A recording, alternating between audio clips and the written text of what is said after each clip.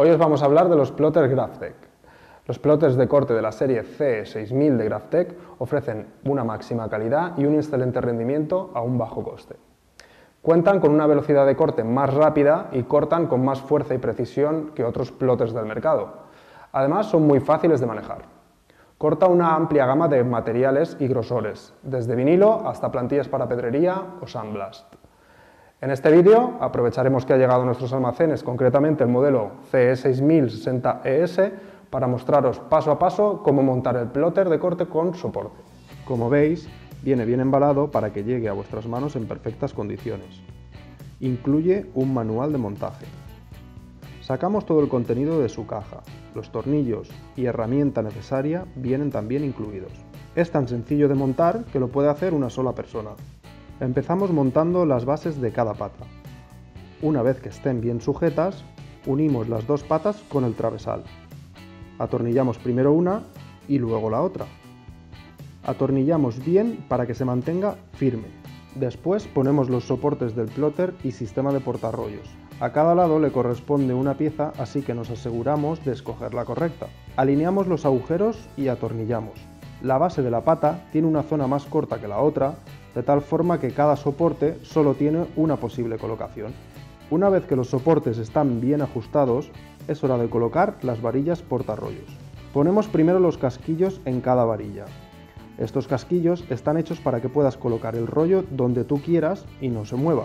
Dependiendo del tamaño del rollo, puedes colocar la varilla en diferentes lugares para darle más estabilidad. Ahora la estrella de este vídeo.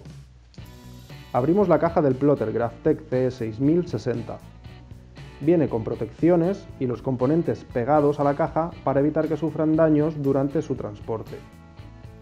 Una vez que quitemos todo el embalaje, lo colocamos sobre el soporte que acabamos de montar. El plotter debe de encajar en los dos pivotes de tal manera que quede fijo. Para anclar el plotter ensamblamos con los cuatro tornillos que vienen con el soporte. Retiramos los plásticos que queden. Los plotters GraphTech Cuentan con una pantalla de navegación de uso muy fácil e intuitivo y tiene un sistema de bloqueo para rollos.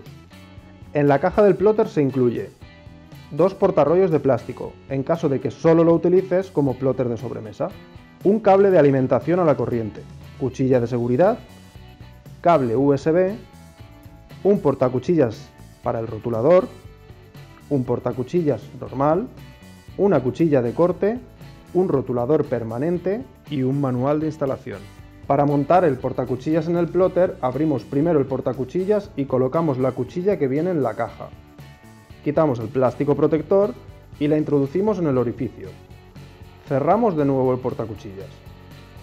Lo colocamos en el plotter introduciéndolo con la parte azul hacia abajo. Enroscamos y listo. Otra ventaja de los plotters es que vienen con el DVD de su propio software, GraphTech Studio, que es compatible con PC y Mac. Para más información visita brildor.com y pincha sobre el menú Plotters de corte. Si te ha gustado este vídeo, danos un me gusta y suscríbete a nuestro canal.